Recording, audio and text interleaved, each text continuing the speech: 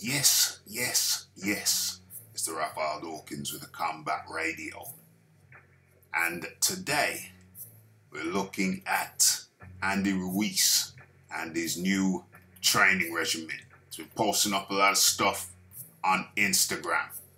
And uh, so let's get into it. So, Andy Ruiz has upgraded his training from the standard boxing training Cross training. He's implementing a new regimen.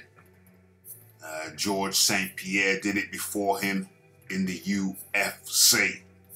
And uh, many people, many of you may know, not know what I'm talking about. Well, let's get into it. Andy Ruiz has started, has implemented gymnastics in his training regime. And uh, Many people may find that difficult to understand, comprehend, or even believe that a man of his proportions, here he is with Manny Pacquiao, a man of his proportions could actually do gymnastics. But uh, I told you before, don't underestimate the Ruiz. Okay, so without delay, let's get let's get into the evidence. Andy Ruiz, where are you?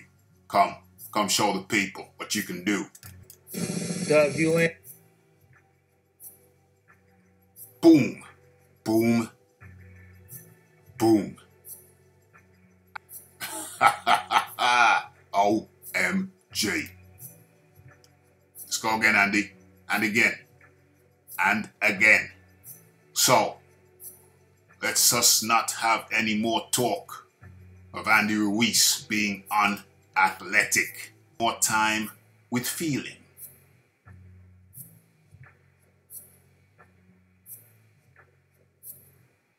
Boom, boom, boom. Andy Ruiz's new training regimen. Gymnastics. It's the Raphael Dawkins. It's the Combat Radio. And don't forget to tune in to the live show later on today. Ask Rick with Rick Glazer. And then tomorrow, Thursday, uh, we have Michael Carbajal, Manitas de Piedra, Little Hands of Stone. Okay, so that's it. It's the Raphael Dawkins. It's the like, it's the subscribe, it's the comments, it's the shares, and it is the hitting that bell icon to stay updated with news and notifications. And, uh, and I'm out.